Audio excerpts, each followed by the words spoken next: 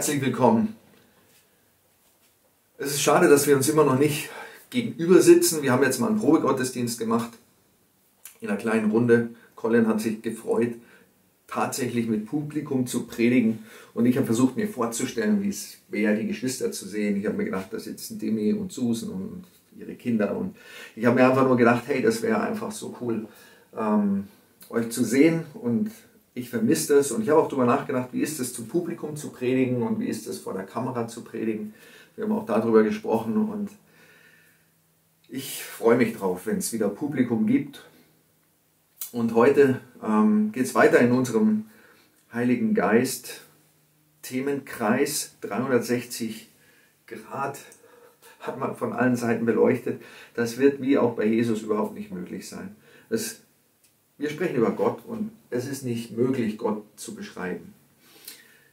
Ich habe versucht, mich vom Geist leiten zu lassen und ich habe natürlich dafür gebetet, dass Gott mich leitet. Und so, meine Botschaft des heutigen Tages gebe ich in der Hoffnung, dass die von Gott geleitet ist.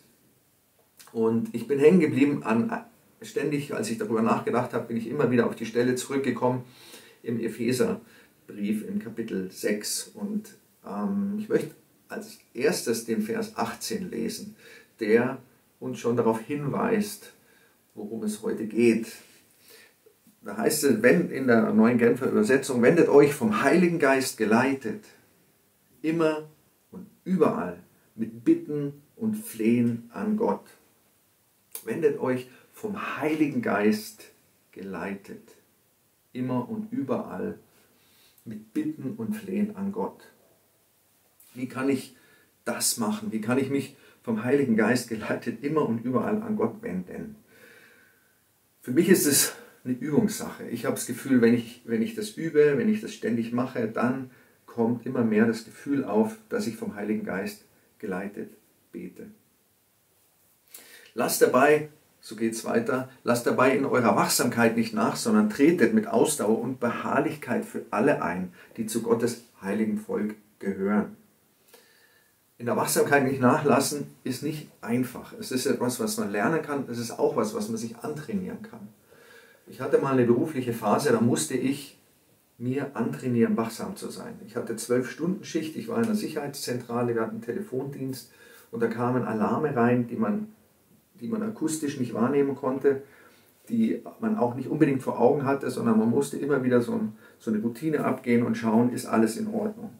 Und da habe ich gelernt, wirklich zwölf Stunden aufmerksam zu sein und gemerkt, dass das auch möglich ist, eine zwölf Stunden Spanne aufmerksam zu sein. Nicht, dass man sich furchtbar konzentrieren kann beim Lernen, man braucht Pausen, aber man kann eine Grundaufmerksamkeit haben. Und die Gefahr tritt oft ein, wenn so eine Entspannungsphase kommt. Ja, wenn man denkt, jetzt ist alles sicher. Aber ähm, genau, irgendwann braucht man auch mal eine Entspannung. Und das ist sicher auch wichtig. So, das Gebet ist unheimlich vielschichtig und der Geist wirkt in allen möglichen Lebenssituationen. Und ich habe mir gedacht, das, was ich heute sage, das wird niemals allen Situationen gerecht, sondern die Spannweite ist so groß, es ist einfach zu groß. Der Heilige Geist ist ein Tröster und das ist mir total wichtig. Das ist für mich eine Grundlage, warum ich bete, warum ich eine Beziehung zu Gott habe, warum ich morgens rausgehe, weil ich so einen Trost empfange von Gott, wenn ich Zeit mit ihm verbringe. Das ist wie in der Gegenwart von jemandem sein, der dir einfach gut tut. Und, und das, das erzeugt bei mir einen Trost, wo ich merke, da kann ich rausgehen und habe einen Frieden. Und das ist der aus meiner Sicht ist das der Hauptgrund. Nichtsdestotrotz bin ich immer wieder an diesem Epheser-Teil statt äh, hängen geblieben, um den es heute geht. Und dieser Vers im Vers 18, der sagt, wendet euch vom Heiligen Geist geleitet immer und überall mit Bitten und Flehen an Gott. Und es ist aber sozusagen das Ende oder am Ende des Epheserbriefs steht es. Und es steht nach dem ziemlich berühmten Abschnitt über die Waffenrüstung, die Gott uns gegeben hat. Und die Waffenrüstung ist, besteht aus dem Helm des Heils, aus dem Brustpanzer der Gerechtigkeit, umgürtet mit Lenden. Und ähm, im Vers, Kapitel 6, Vers 10 heißt es aber am Anfang, nun noch ein letztes Mal, lasst euch vom Herrn Kraft geben. Lasst euch stärken durch seine gewaltige Macht. Legt die Rüstung an, die Gott für euch bereithält. Ergreift alle seine Waffen. Damit werdet ihr in der Lage sein, den heimtückischen Angriffen des Teufels standzuhalten. Und dann kommt, oder dann kommt der Teil, wo es heißt, denn unser Kampf richtet sich nicht gegen Wesen von Fleisch und Blut, sondern gegen die Mächte und Gewalten der Finsternis, die über die Erde herrschen, gegen das Heer der Geister in der unsichtbaren Welt, die hinter allem Bösen stehen. Deshalb greift zu allen Waffen, die Gott für euch bereithält. Also es gibt den Heiligen Geist, den wir haben, aber es gibt auch andere Geister. Also brauchen wir eine Waffenrüstung, um uns zu wappnen dagegen. Und wir sollen uns Kraft geben lassen vom Herrn. Und wir haben empfangen einen Geist der Kraft, der Liebe und der Selbstdisziplin, ähm, der Besonnenheit. Ja? Besonnen sein. Besonnen sein. Was bedeutet dieses Wort? Ja? Aufmerksam sein, achtsam sein. Den ganzen Tag, immer und überall. Es ist, ähm, ja, ich glaube, dass es möglich ist und dass es wichtig ist. Und dass es oft die kleinen Sachen sind, die wichtig sind. Dass es oft kleine Sachen sind, wo wir uns leiten lassen können vom Geist. Ich glaube auch, dass es besser ist, vom Geist geleitet, dass man besser vom Geist geleitet ist, wenn man viel Zeit im Gebet hat und dadurch mehr connected ist und besser spürt, diese subtile, feine Unterscheidung, sollte ich oder sollte ich nicht hingehen. Colin hat dieses Beispiel erzählt von einer Frau und mir hat das geholfen, in den Situationen einfach sensibler zu sein, mutiger zu sein, auch mehr Glauben zu haben und hinzugehen. Aber ich merke, ich brauche das Gebet, das hilft mir, das gibt mir diese Kraft, Dinge zu tun, die ich, denen ich normalerweise aus dem Weg gehen würde. Und es macht Spaß. Es macht Spaß. Es kostet nicht viel Kraft, aber die Ergebnisse sind oft erstaunlich. Ich möchte wieder zurückkommen zum Thema Gebet. Die Waffenrüstung. Warum, was hat die Waffenrüstung mit Gebet zu tun? Die Waffenrüstung Gottes wird, vom, äh, wird beschrieben von Paulus und er sagt, das ist wichtig, damit wir standhalten können. Und danach sagt er, kommt er zurück zu der Stelle, die ich am Anfang vorgelesen habe, wendet euch vom Heiligen Geist geleitet immer und überall mit Bitten und Flehen an Gott. Diese Waffenrüstung ist im Grunde genommen ein Mindset, es ist ein, eine Einstellung. Der ganze Epheserbrief liegt vor dieser Waffenrüstung und nach dieser Waffenrüstung kommt diese Stelle übers Gebet. Der Helm des Heils, der Schild des Glaubens, der Brustpanzer der Gerechtigkeit und gürtet mit Wahrheit der Epheserbrief ist gespickt mit praktischen Sachen, was wir machen sollen.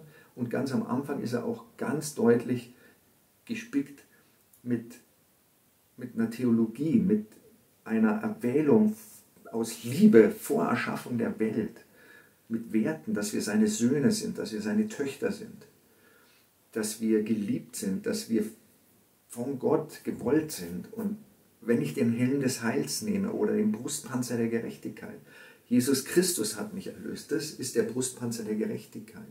Diese Erwählung vor Erschaffung der Welt, das stelle ich mir vor wie den Helm des Heils. Das ist so lang vorherbestimmt, das gibt mir so eine Sicherheit. Ein Glaube, ein Herr, eine Taufe, eine Gemeinde, der Schild des Glaubens, von dem er spricht, der ist dort beschrieben. Und diese Waffenrüstung ist nicht diffus, sondern die ist konkret belegt mit Werten, die Paulus vorher diesen ganzen Brief lang beschreibt.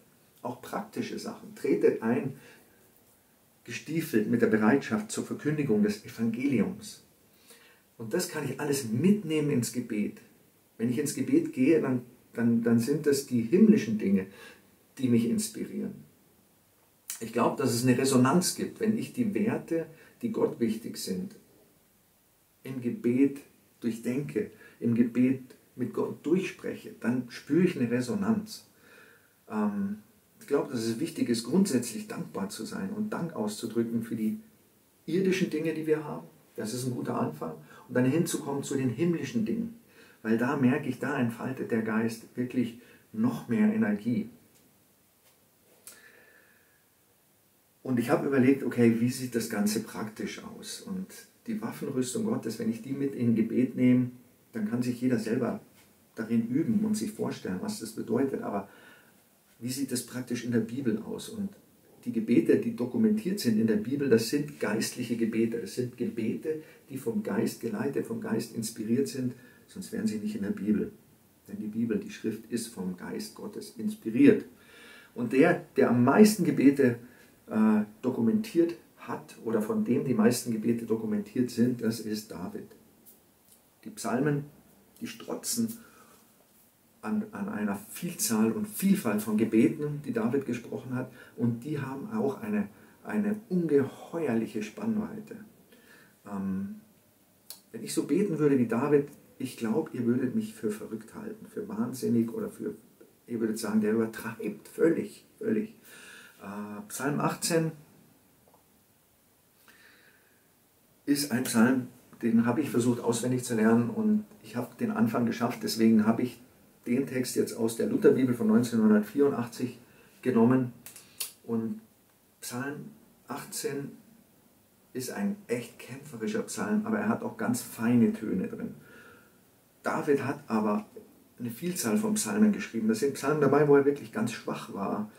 Und, und dann sind Psalmen dabei, wo er niedergeschlagen war, wo, wo er Intimität mit Gott gespürt hat. Psalm 139 beschreibt poetisch diese Nähe zu Gott, die er empfindet. Und, und er sagt, hätte ich Flügel der Morgenröte und Flüge ans Ende des Horizonts, so wärst auch du da. Ähm, also ganz großartige Literatur, aber auch ganz inspirierende Worte, um in, in der Beziehung zu Gott durch den Geist zu beten. Da helfen uns die Psalmen, da helfen mir die Psalmen, mir hilft es, einen Psalm zu lesen und einfach zu denken, das bin ich, der das jetzt Gott gegenüber ausdrückt. Zurück zum Thema Waffenrüstung Gottes. Ich habe mir gedacht, wenn ich die Waffenrüstung Gottes nehme und umsetze, dann, dann habe ich ein Match mit diesem Psalm 18 von König David. Und ich möchte einfach mal ein paar Zeilen aus dem Psalm lesen, weil die Gott in einer Art und Weise beschreiben, die uns nicht so geläufig ist, aber die sehr intensiv ist und aus einer sehr intensiven Situation herauskommen von David, Psalm 18, Vers 1, von David, dem Knecht des Herrn, der zum Herrn die Worte dieses Liedes redete, als ihn der Herr errettet hatte von der Hand aller seiner Feinde und von der Hand Sauls. Das ist also nicht in Lebensgefahr, sondern nach Lebensgefahr, dass David diesen Psalm aufschreibt. Und er sprach, herzlich lieb habe ich dich, Herr, meine Stärke, mein Fels, meine Burg, mein Erretter, mein Gott, mein Hort, auf den ich traue, mein Schild und Berg meines Heiles und mein Schutz. Da klingt schon vieles an aus der Waffenrüstung Gottes. Da muss ich nicht viel beschreiben, deswegen lese ich einfach mal weiter. Ich rufe an den Herrn, den Hochgelobten, so werde ich vor meinen Feinden errettet. Es umfingen mich des Todes Bande und die Fluten des Verderbens erschreckten mich. Des Totenreichs Bande umfingen mich und des Todes Stricke überwältigten mich wenn ich das lese, dann frage ich mich, in was für einer Situation war David? Wie hat der sich gefühlt? Der beschreibt ein Szenario, dass wir uns keinen größeren Schrecken vorstellen können. Aber er schafft es auch, das auszudrücken. Er schafft es, seine Gefühle auszudrücken. Auch hier in der Beziehung zu Gott legt er das dar, wie er sich gefühlt hat.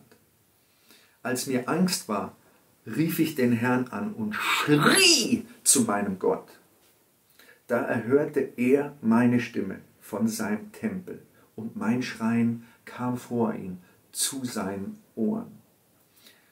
Jesus hat gebetet mit lautem Schreien und unter Tränen und das ist auch nicht aufgesetzt oder verkehrt, wenn wir uns manchmal so fühlen, als müssten wir im Gebet schreien. Und das kann auch vom Geist geleitet sein. Ich habe mich mit Oliver Kurz diese oder in den letzten Wochen zum Beten getroffen und ich merke, dass wenn ich mit dem Oliver zusammen beten gehe, dann packt mich der Geist manchmal so intensiv, dass ich denke, ich weiß nicht, woher das kommt. Wir haben, er hat mit mir die Bibel studiert, er hat mich getauft und wir haben im Sommer 2096, vor 25 Jahren, da haben wir mal ein Zimmer geteilt in einem Hotel und ich bin ins Badezimmer gegangen zum Beten. Ich dachte einfach nur so, okay, nutze die Zeit, es ist noch früh, ist jetzt ungestört, gehe ins Badezimmer, knie mich da vor die Badewanne und stütze mich so am Badewannenrahmen auf und bete da und denke mir jetzt eigentlich keine tolle Umgebung für ein Gebet und kannst auch nicht so laut beten. ist ja ein Hotelzimmer, Badezimmer und der Oliver hat vielleicht noch geschlafen oder dachte, der schläft noch. Und habe ich da hingekniet, die Augen geschlossen, habe angefangen zu beten und Gott hat mir wirklich das Herz geöffnet und ich habe hab wie in eine geistliche Welt geguckt und ich hatte das Gefühl, dass die geistlichen Mächte der Finsternis mein Herz immer weiter einpacken und kurz davor sind, das komplett zu verfinstern. Und ich hatte richtig so Klauenhände im Gebet vor Augen, die mein Herz immer weiter einschließen und alles Licht verschwindet. Und ich dachte, wenn das letzte Licht eingedämmt ist, dann ist es aus. Und das Gebet wurde so intensiv, ich habe wirklich geschrien. Und ich habe gekämpft und ich habe in diesem Gebet um mein Leben gekämpft. Und, und irgendwann im Gebet sind diese Hände verschwunden und es war nur noch Licht. Und ich habe Frieden gespürt und bin dann aus dem Badezimmer eigentlich irgendwie so raus, wie ich reingegangen bin. Vielleicht ein bisschen erleichterter. Und ich weiß noch, der Oliver saß mit angezogenen Knien auf seinem Bett und war so, so was um alles in der Welt war das? Und, und ich war so, ich dachte mir, ja, stimmt, er hat recht, das war jetzt ziemlich intensiv und vielleicht habe ich jetzt die Nachbarn aufgeweckt. Ich, ich glaube, das war das intensivste mein Gebet in meinem Leben. Ich hatte das nie wieder und ich habe es nicht, ich habe es nicht, ich habe es nicht forciert, ja, also ich habe mich nicht, ich bin da nicht reingegangen und habe gedacht, ich will, dass das jetzt intensiv wird. Und ich habe mich vorher nicht irgendwie dramatisch gefühlt und auch nachher nicht. Und mir ist es wichtig, dass wir vom Geist uns leiten lassen, dass wir einfach offen sind dafür, was der Geist mit uns macht, dass der präsent ist und dass wir dem Einfluss lassen und dass wir auch nichts erzwingen, aber dass wir ihm auch keine Grenzen setzen, weil der Geist eine unendliche Kraft ist. Und die Psalmen, die ich von David lese, die sind dokumentiert. Das ist so, als wenn das Gebet, das ich da gesprochen habe, vielleicht aufgeschrieben wäre. So intensiv ist es ja. Die, das Todesbande umfingen mich und, das, und die Fluten des Verderbens erschreckten mich. Und dann sagt er, als mir Angst war, rief ich den Herrn an und schrie zu meinem Gott. Da erhörte er meine Stimme von seinem Tempel und mein Schreien kam vor ihm zu seinen Ohren. Die Erde bebte und wankte und die Grundfesten der Berge bewegten sich und bebten, da er zornig war.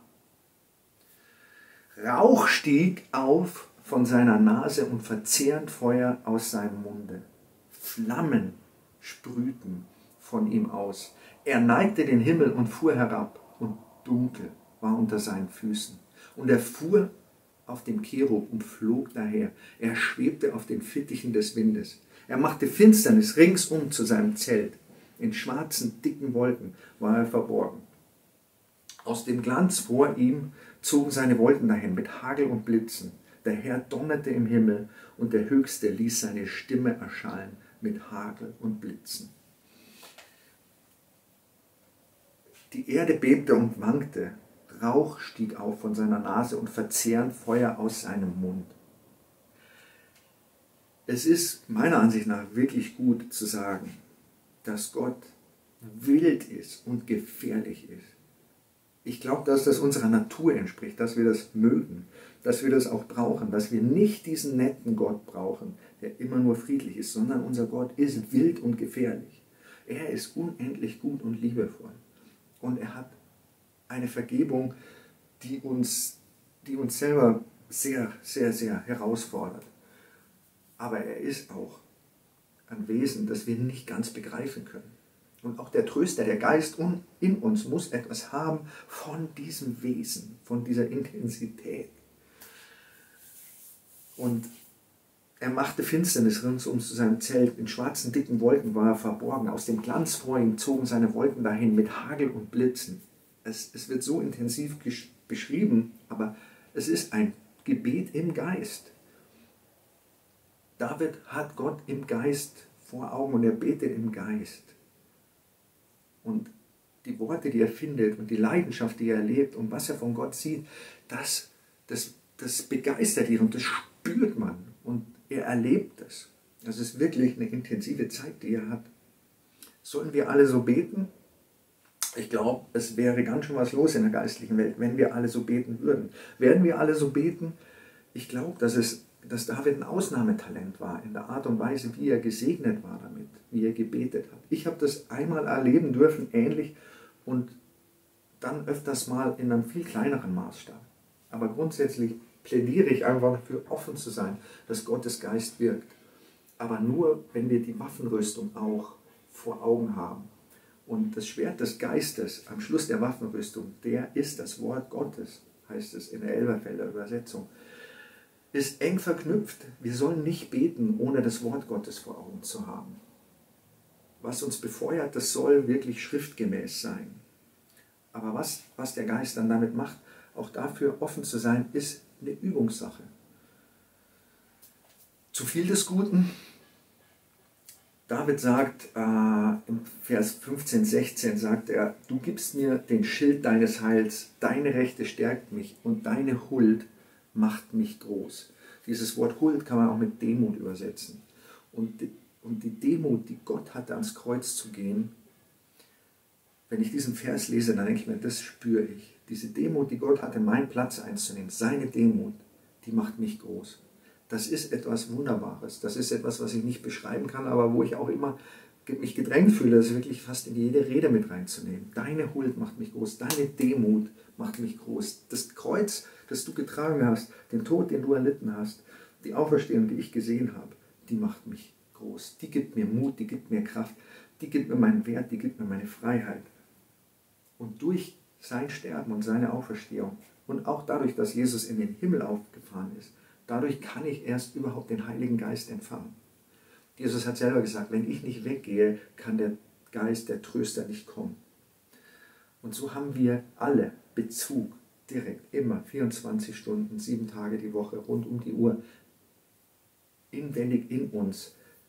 In Kolosse 1,27 heißt es, das Geheimnis Gottes, Christus in uns. 24 Stunden haben wir Zugang direkt zu Jesus, so als wären wir immer zusammen. Und das ist eine tolle Sache. Stell dir vor, du kannst immer mit Jesus zusammen sein. So, du kannst wirklich Erwartungen daran haben. Was von deiner Seite gefordert ist, ist Besonnenheit, ist Achtsamkeit, ist Wachsamkeit, auch, auch einfach Übung, auch einfach zu sagen, Mensch, ich versuche das immer. Ich versuche das so lange wie möglich. Ich trainiere mir das an, ich gewöhne mir das an. Ich faste von anderen Sachen und versuche mehr da zu mir zu nehmen von diesen guten Sachen. Im, Epheser 3, Vers 14 geht Paulus auf die Knie, weil er weiß, das, was ich jetzt sage, das kann ich nicht lehren, sondern da kann ich nur dafür beten. Das ist auch ein geistliches Gebet. Das ist auch ein Gebet, das dokumentiert ist das man gut nachbeten kann. Und das uns vielleicht den Zugang ermöglicht zu so einer Intensität, wie wir hier gelesen haben, Psalm 18. Und ich möchte das nochmal wiederholen, der Psalm 18, diese Intensität mit David, die möchte ich in Verbindung bringen mit diesem Gedanken der Waffenrüstung Gottes. Weil eine Waffenrüstung ist dafür was Intensives. Und die Mächte und Gewalten, die da beschrieben sind, die sind so dämonisch und so böse. Das ist nicht, das ist nicht aus, aus, das ist nicht schlecht balanciert, sondern das ist das wird der Sache gerecht, auch wenn wir ein ganz nice little life hier haben in Deutschland. Wir haben eine Gewalt gesehen, eine Urgewalt in, in, in dieser Flutkatastrophe jetzt, die uns nahe geht. Aber die Kräfte, die da sind, sind mächtiger und schrecklicher als diese Bilder. Das beschreibt die Bibel ganz deutlich. So, wir dürfen uns ranwagen an dieses intensive Thema und wir dürfen gleichzeitig total schwach sein, weil jedem nach dem Maß gegeben ist der Gnade. Aber habt auch Glauben, dass Gott euch Möglichkeiten gibt, die wir vielleicht bis jetzt zu wenig genutzt haben. Epheser, Psalm, äh, Epheserbrief 3, Vers 14, ein Gebet von Paulus. Er sagt, er beschreibt vorher eine ganze Menge großartiger Sachen über Gott und sagt, wenn ich mir das alles vor Augen halte, kann ich nicht anders als anbetend vor dem Vater niederzuknien. Er, dem jede Familie im Himmel und auf der Erde ihr Dasein verdankt und der unerschöpflich reich ist an Macht und Herrlichkeit, gebe euch durch seinen Geist innere Kraft und Stärke. Es ist mein Gebet, dass Christus aufgrund des Glaubens in euren Herzen wohnt und dass euer Leben in der Liebe verwurzelt und auf das Fundament der Liebe gegründet ist. Das wird euch dazu befähigen, zusammen mit allen anderen Heiligen die zu Gottes heiligen Volk gehören, die Liebe Christi in allen ihren Dimensionen zu erfassen, in ihrer Breite, in ihrer Länge, in ihrer Höhe und in ihrer Tiefe. Ja, ich bete darum, dass ihr seine Liebe versteht, die doch weit über alles Verstehen hinausreicht und dass ihr auf diese Weise mehr und mehr mit der ganzen Fülle des Lebens erfüllt werdet, das bei Gott zu finden ist. Ihm, der mit seiner unerschöpflichen Kraft in uns am Werk ist und unendlich viel mehr zu tun vermag, als wir erbitten oder begreifen können. Ihm gebührt durch Jesus Christus die Ehre in der Gemeinde von Generation zu Generation für immer und ewig. Paulus baut das aufeinander auf. In manchen Übersetzungen kommt das noch deutlicher zum Ausdruck als hier. Er betet am Anfang dafür, dass Gott uns stärkt am inwendigen Menschen durch seinen Geist, damit Christus in uns wohnen kann. Wir müssen erstmal durch den Geist gestärkt werden, damit Christus in uns wohnen kann. Wir können das gar nicht voneinander trennen, weil Christus in uns dieses Geheimnis ist und wir empfangen den Geist, der stärkt uns und dann wohnt Christus in uns. Das können wir nicht auseinander differenzieren. Aber was wir wissen ist, was wir daraus lernen können, ist, dass wir erstmal Gottes Geist brauchen, der uns inwendig stärkt, um diese Macht, diese Power überhaupt auszuhalten in uns. Und das ist manchmal auch anstrengend aber gut anstrengend. Sport ist auch gut anstrengend. Und Gewohnheit macht einen fit und dann hat man Lust auf mehr. Und genauso empfinde ich das mit dem Geist. Je mehr man sich damit beschäftigt, desto mehr wünscht man sich das und desto mehr kann man auch aushalten. Und er sagt, das Ganze dient dazu, dass, dass Christus aufgrund des Glaubens in euren Herzen wohnt, dass euer Leben in der Liebe verwurzelt ist und euch dazu befähigt, mit allen anderen die zu Gottes heiligen Volk gehören, die Liebe Christi in allen ihren Dimensionen zu erfassen. Also wir müssen innerlich gestärkt werden, um Gott besser zu verstehen, zu begreifen, seine Liebe zu begreifen und geistlich zu wachsen. Und das geht nicht ohne Gebet. Paulus betet dafür. Damit wir erfüllt werden, damit wir hinwachsen, damit wir reifen. Beten, um Christus zu bezeugen. Am Ende des Epheserbriefs sagt Paulus, wendet euch vom Heiligen Geist geleitet immer und überall mit Bitten und Flehen an Gott. Das habe ich ganz am Anfang gelesen. Der Vers geht weiter. Lasst dabei in eurer Wachsamkeit nicht nach, sondern tretet mit Ausdauer und Beharrlichkeit für alle ein, die zu Gottes heiligen Volk gehören. Betet auch für mich. Bittet Gott, mir bei der Verkündigung seiner Botschaft die richtigen Worte zu geben. Wir sind berufen, füreinander zu beten, damit wir das Wort Gottes verkündigen. Wir haben den Geist empfangen, um Zeugen zu sein. Und Paulus bittet darum, dass die Menschen für ihn beten, damit Gott ihm die richtigen Worte gibt. Das heißt, er empfängt die Worte, so erlebt er das. Er empfängt die auch durch den Geist von Gott. Das sind viele intensive Sachen. Vielleicht war es zu intensiv für die kurze Zeit heute Morgen. Vielleicht fehlen euch die persönlichen Beispiele. Vielleicht sagt ihr, Mann, das muss ich mir jetzt nochmal anhören und das Ganze durchgehen. Ich möchte nochmal kurz die Punkte aufzählen, die mir wichtig sind. Alle Zeit konzentriert beten. Mit der Waffenrüstung beten. Im Gebet Gott wahrnehmen. Und gebeten, um Christus zu bezeugen ich weiß, es ist erlaubt, schwach zu sein. Und ich weiß, es ist aber erlaubt, im Gebet stark zu sein und Gott da keine Grenzen zu setzen. Ich danke euch für eure Aufmerksamkeit und ich, ich wünsche euch einfach gute Gebetszeiten, dass das eine Inspiration ist, die ihr mitnehmt, ohne eine Last zu empfinden, sondern einfach eine Ermutigung, im Glauben ranzugehen an die Schrift und zu sagen, ich bin Tempel des Heiligen Geistes. Gott möchte, dass ich ein Haus des Gebets bin. Und ich glaube, dass ich dass ich Sachen mit Gott erleben kann, die größer sind als das, was ich bisher erlebt habe. Ich wünsche euch noch einen tollen Sonntag und Gott sei die Ehre.